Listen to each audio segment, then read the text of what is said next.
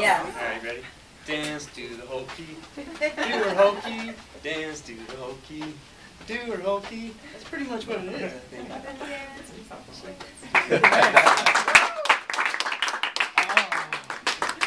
One of the finer moments that's ever Oh taken place in the Illustrated hallway.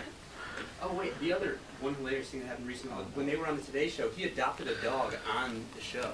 They were like bringing out dogs that were up for adoption. So Holcomb spontaneously decided to adopt a dog.